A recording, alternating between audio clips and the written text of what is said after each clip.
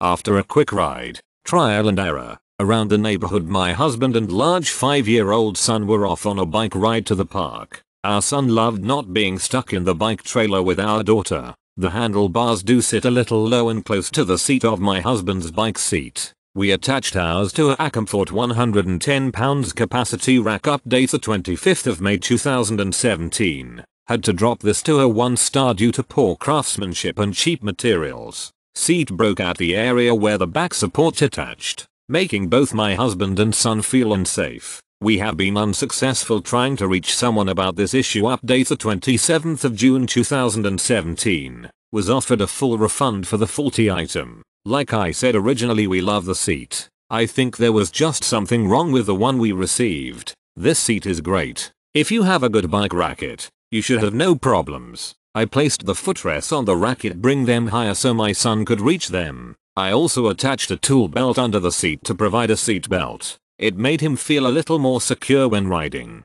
Loving this seat. Strudy. Slick. Thought it was going to be too bulky, but really nice. Didn't know how it would fit on my Citizen Gotham 7 folding bike. Bought it with a cargo rack, but feels sturdy enough to use with regular bike rack. When my son get a little heavier might switch to cargo rack, but it's really perfect. My 7 year old can't wait to ride. My 5 years loves this cons. Since my bike is electric bile I cannot put footrest and hence my 5 years has to make his legs straight.